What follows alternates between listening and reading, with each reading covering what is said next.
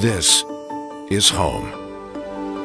And our roots run as deep as the love we have for this place. Owned by the same Cincinnati company for more than 70 years. And what matters to you matters to us. This is WCPO 9 News.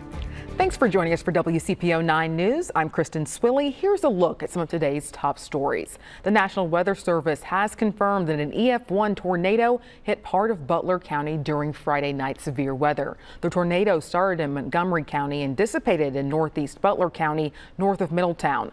WCPO 9 found several uprooted trees in the area, but no damage to homes or businesses. The man accused of pointing a gun at Kentucky Sheriff's deputies during a drug investigation is behind bars. The Boone County Sheriff's Office says 24-year-old Jacob Roberts was arrested after being discharged from UC Medical Center. He faces two counts of wanton endangerment and evading police. Cincinnati police officers promised to get off-road vehicles off city streets, and they're making good on that promise. District 5 officers arrested a driver yesterday and put this quad in impound. Officers are stepping up enforcement, even using undercover officers and security video to track and seize the vehicles.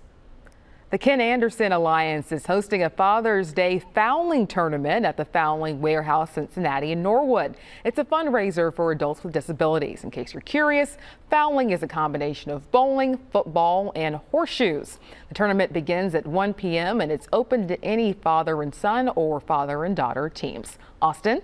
Well, looks like some hot temperatures in the forecast for today. It's going to be uh, warming up to 90 degrees. Uh, that's the gold. And then with the red is the actual feel like temperature. So it's going to be feeling like uh, some mid to upper 90s at times uh, with a mix of sun and clouds. But again, a dry forecast. is just going to be hot and humid, at least uh, for today. Temperatures cooling off as we go into the work week. We'll see 70s by Tuesday and Wednesday, but uh, the rain chances do return for Monday.